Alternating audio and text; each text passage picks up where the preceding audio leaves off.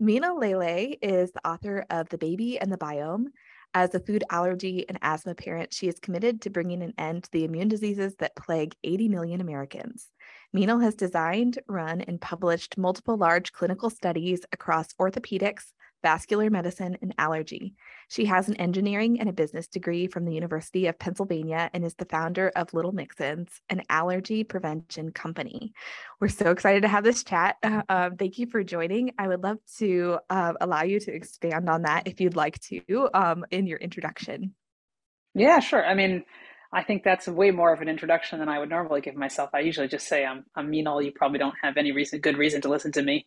Uh, no, but yeah, no, I think the, the key there is just that, um, um, you know, allergy is like my life now as my, it's, uh, uh, you know, something I never thought that my family would have to deal with, and then as my son has uh, has had to deal with it his whole life, and it and it really takes over your life because food allergy in particular because you eat three times a day, um, but also even some of the other allergic diseases uh, just they're just they're chronic, right? And the nature of chronic disease is that it's just always with you. So it's my life now. yeah, definitely. So your own personal experience is what kind of sparked your interest in the topic of the microbiome and food allergies. Yeah, absolutely. You know, it was really that that whole question. Like, I don't understand how this happened, and um,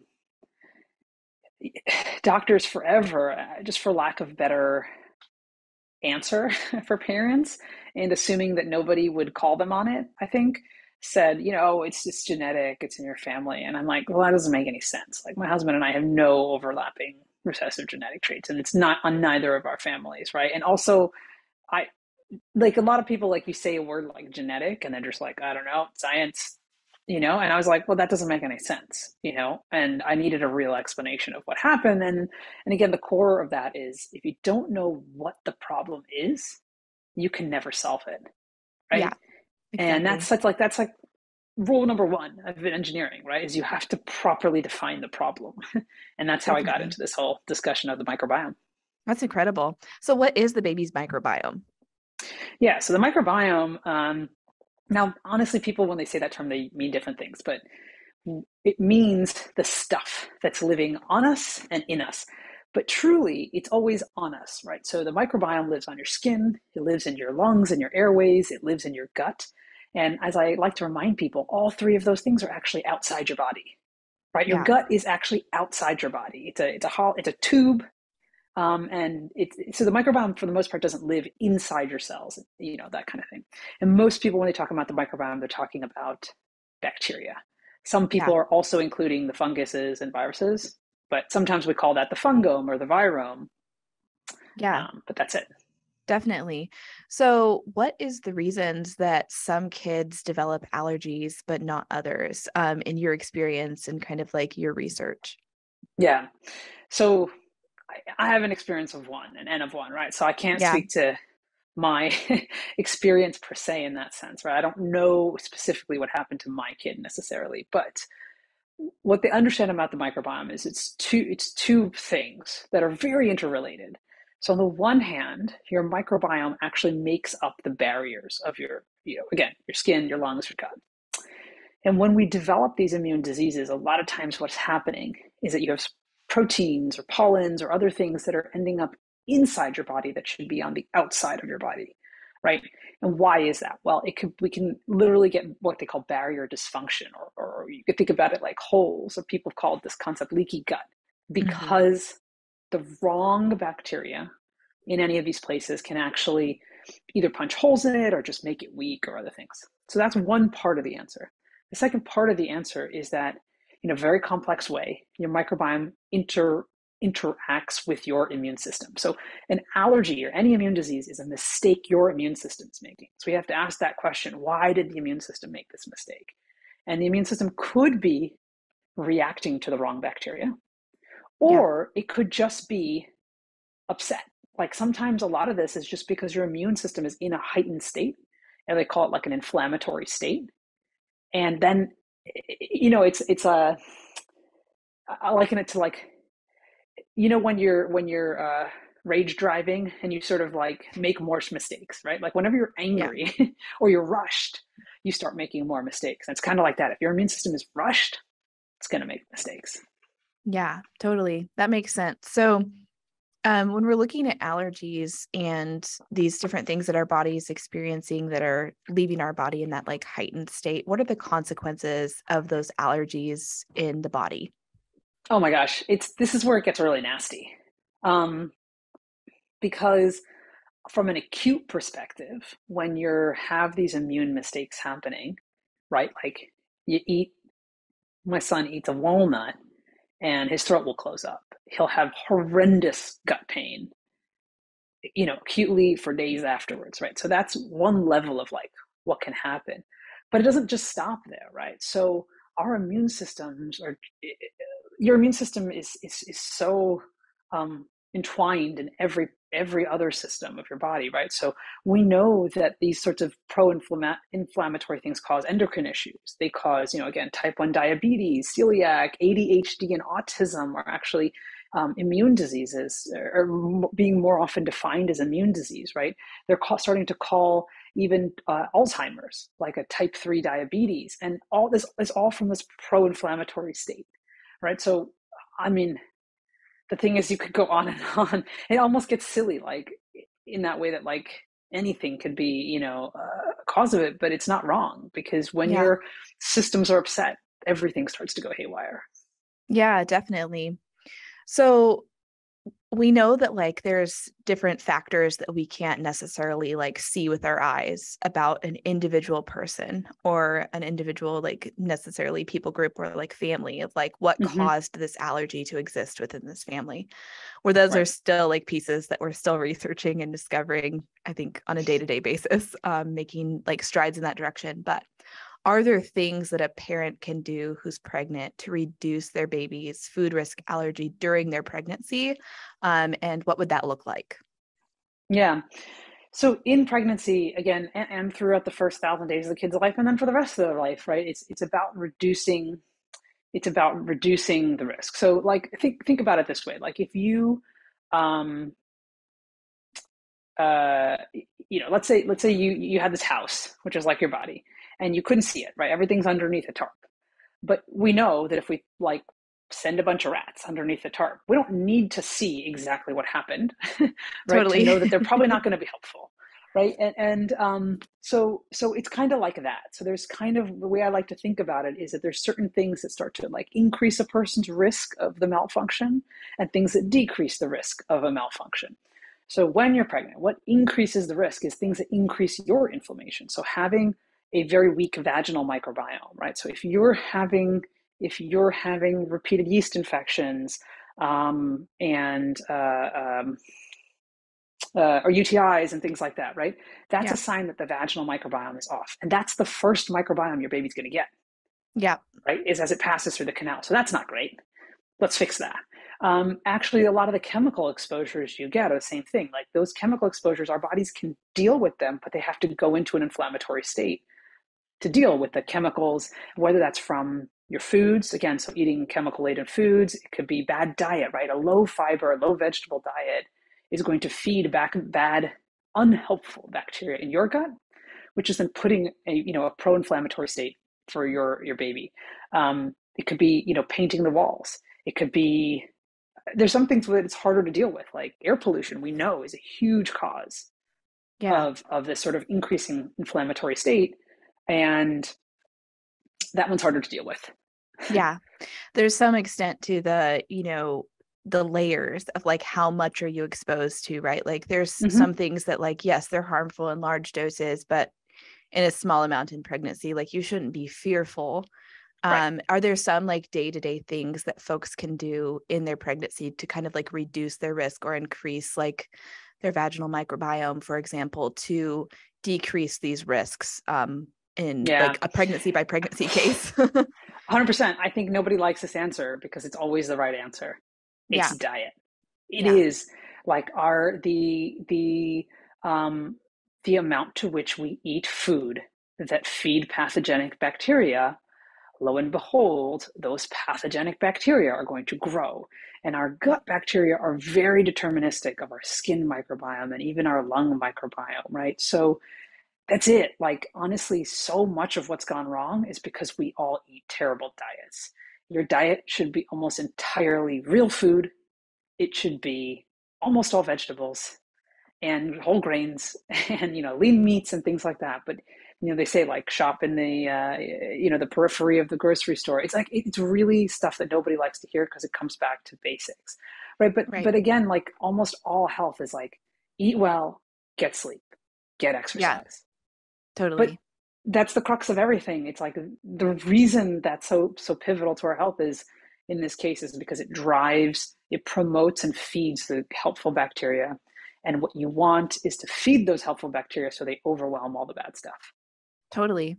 I think this is comes back to some of the conversations that could be had about like our society and how you know processed foods and things that are just like really over processed to become cheap and accessible for families especially low income families mm-hmm. are there are there ways that families who are lower income that ways that they can access kind of some of these foods to increase you know their health and well-being? Yeah i mean dairy is great in the form of yogurt is better because it has lactobacillus bacteria in it.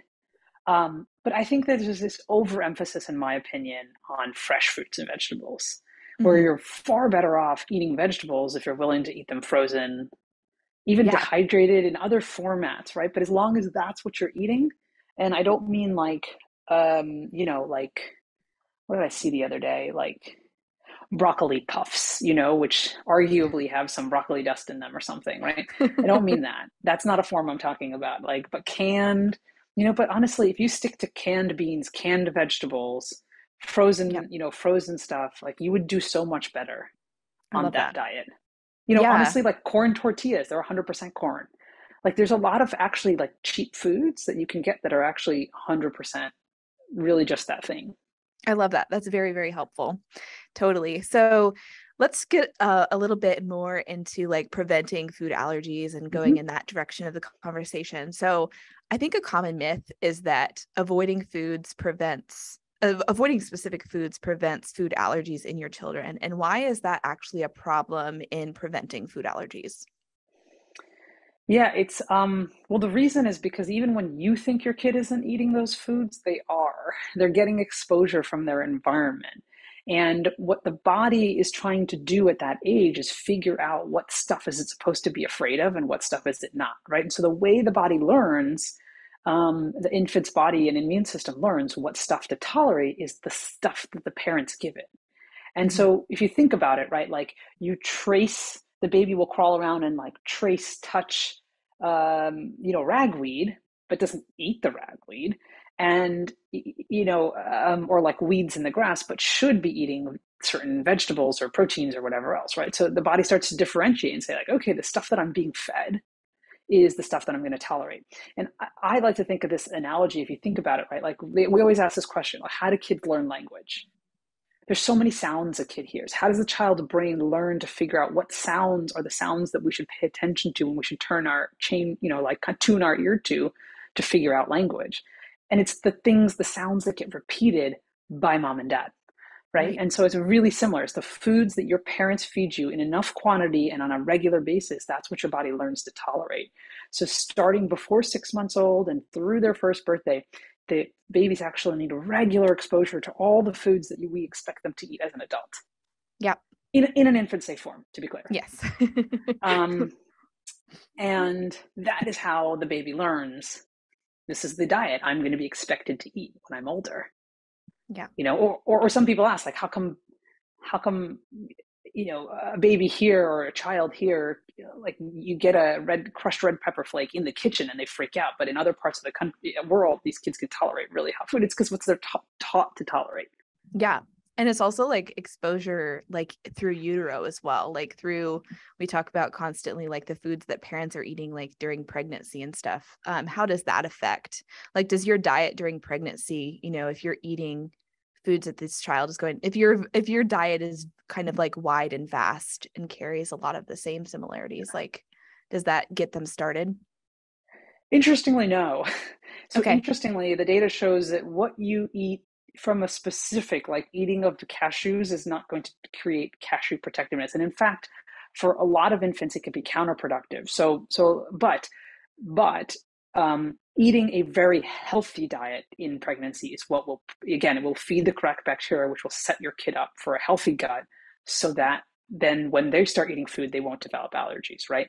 But totally. from like, does it matter if it's walnuts or cashews in pregnancy in terms of that? No. And the one caveat that I will say is um, when mothers, not so much in pregnancy, but when you're breastfeeding and before the baby's eating food, um, what mom eats, especially if she's eating like while nursing or whatever she's eating and then immediately touching the baby with, right? Because we all like kind of eat and then like, yeah, you know, because the baby's crying and we're like, shove it in our mouths and quick, go pick up the baby. But that food that's on your hands goes onto your baby's skin right? So especially not for every baby, you don't need to panic about this, but if your kid has eczema, if your kid has a broken skin barrier, you have to be very careful about what's on your hands before you touch that baby because now you're actually putting the proteins into their bloodstream in a way that's going to cause sensitization to those foods. So, um, you know, so again, it's just like it's just about washing your hands, rinsing your hands before you touch them. But um, yeah, it's it's not a one to one from mom to baby. It's really about what baby eats is what trains tolerance to the foods. Incredible. That's amazing.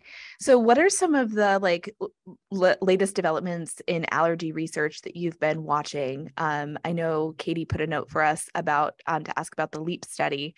Um, what is that? What are some of those pieces that are very interesting to you at the moment?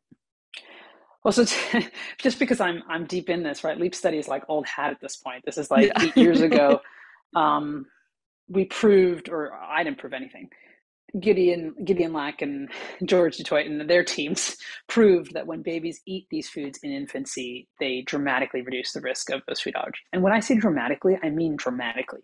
Like they're 97% preventable. Peanut allergies are 97% preventable. So that's like vaccine level preventable, right? Yeah. And all we have to do is make sure that they're eating those proteins regularly in their diet.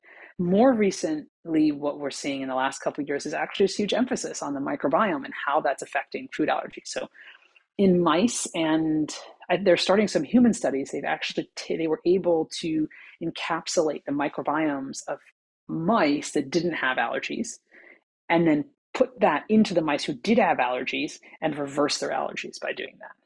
And so, you know, again, not in human yet, but basically the idea is that by shifting someone's microbiome, you can actually, um, and I'm not sure, is it about sealing their gut or is it about these bacteria themselves will kind of digest the proteins differently or what? But in any case, it seems like you could almost transplant a non allergic microbiome, and that might be a really interesting field of uh, treatment in the future. Yeah, definitely. That's really interesting. Or even pieces of all of it. Um, mm-hmm. Yeah, it's really cool. Mm-hmm. So let's talk about early introduction. Um, I know you mentioned like introducing things early. Um, how early is too early, and what does that look like?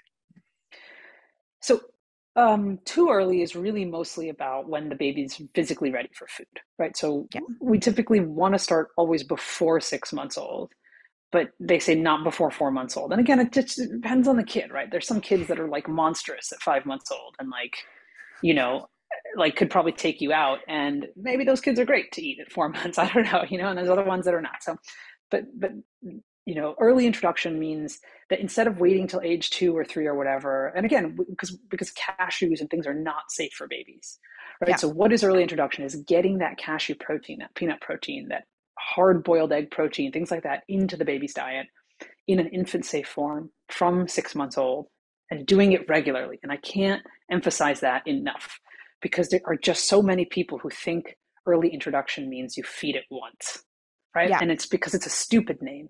You only get introduced to something one time. But it's about the regular continuous exposure to the food that that's what trains the tolerance to it, right? Um, and so that's that's really what that's a tolerance training is all it is, and um, you know by six months in infancy yeah. forms. Totally. Are there any risks, I guess, to early introduction um, if you're using, you know, age safe forms? I mean, we're not talking about, you know, giving a kid an actual like nut that they could choke on, but yeah. um. no, interestingly, there's no risks to it. There's, yeah. It's actually the safest time to do it. And so parents are worried about what if my kid has this reaction, right? And the thing you should know is that the younger the baby is, the weaker their immune system is in some sense, right?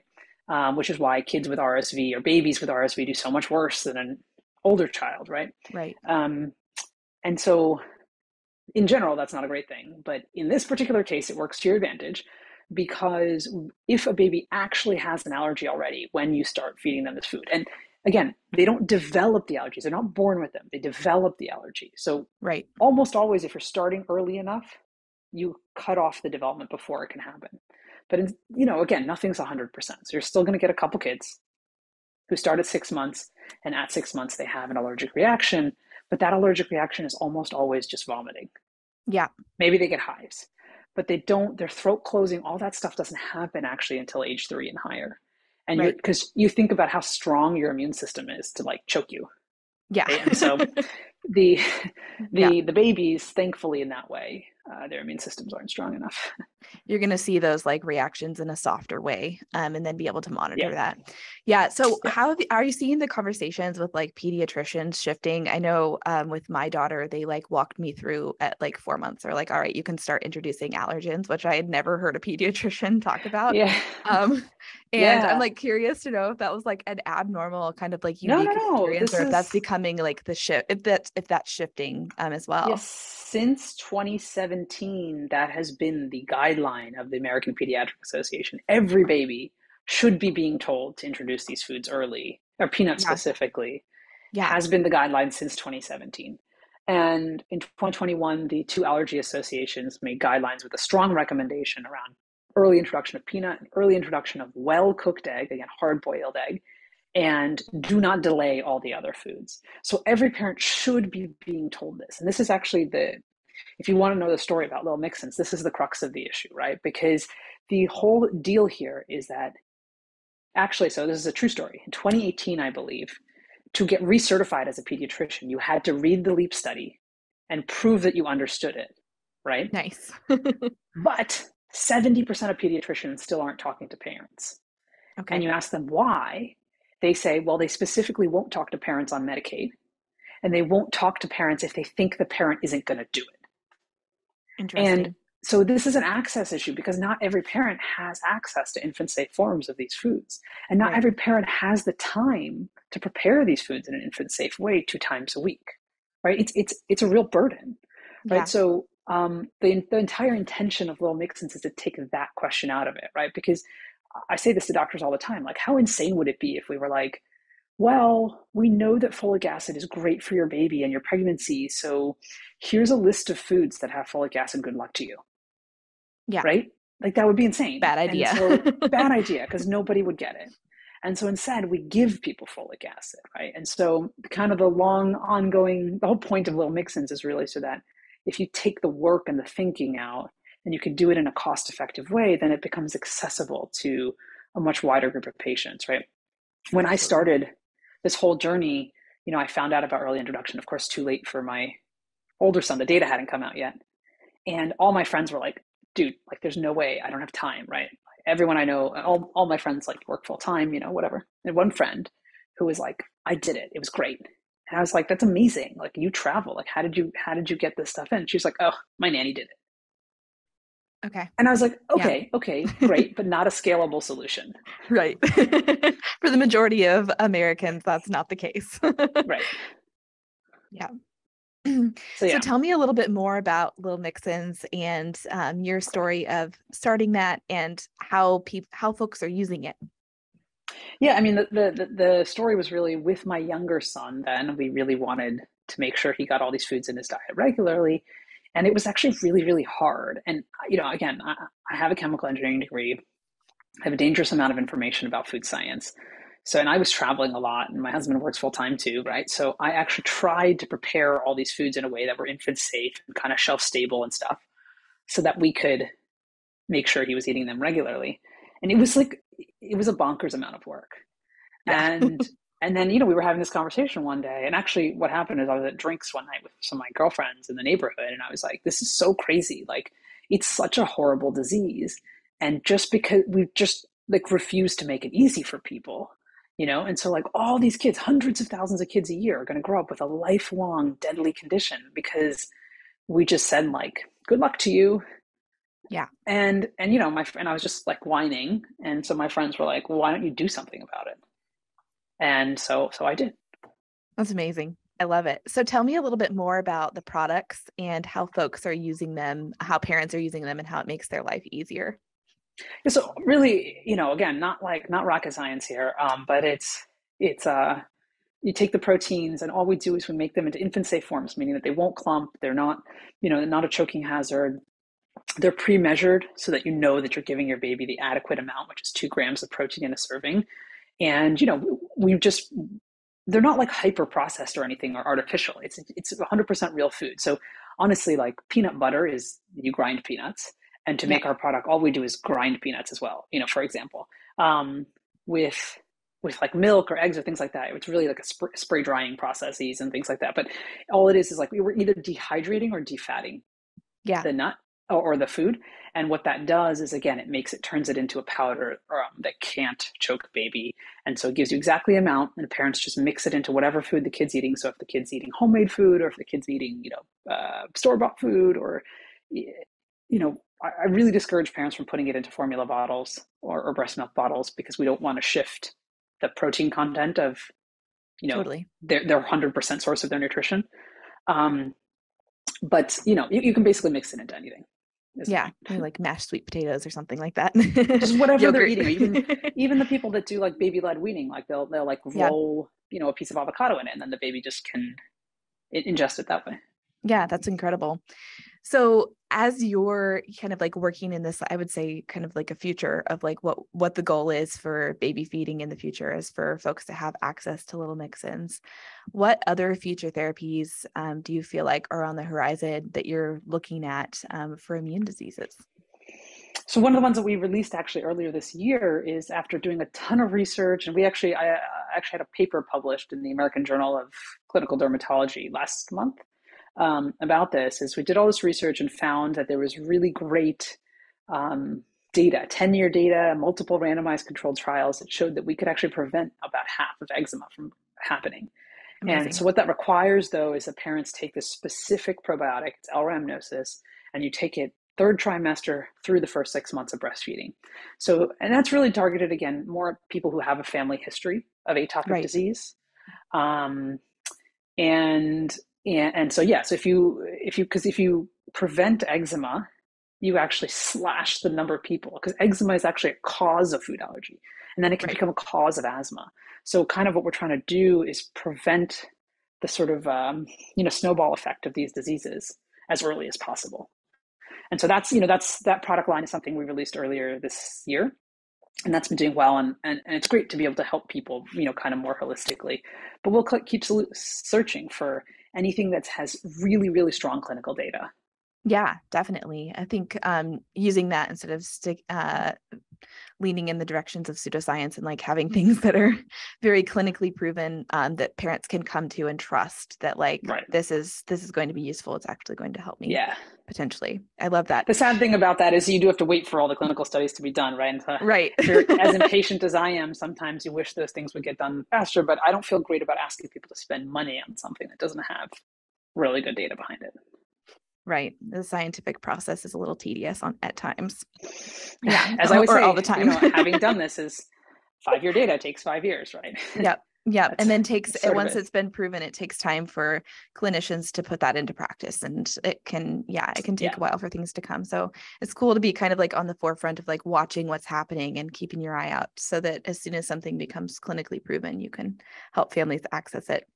So if you had a friend or a family member that was expecting, they were planning to become a new parent or in the process of becoming a new parent, hmm. um, what are Don't the... let me near them unless they want to have their ear talked off.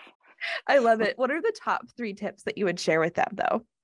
Um, honestly, the, the three tips I say are, you know, um, really think about your diet and think about it in this way right because i think it's it's very arbitrary when people are like don't eat shellfish like don't eat ham like you, you know you're just like i don't understand like why these random sets of things are not okay right but it, when when someone has a rationale for it and like what is it that i'm trying to achieve it makes it a lot easier. So it's it's a really worry about your diet. The other big thing I tell people in pregnancy is to um, try and avoid group B strep, which is a big, you know, which is about again your vaginal microbiome.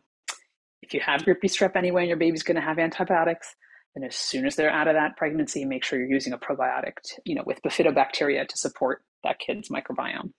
So, number one, good diet from the beginning. Number two, you want a bifidobacteria and L. rhamnosus in these kids ASAP. Those are the setup of a healthy gut. And then number three is when they start eating food, get all these foods in their diet.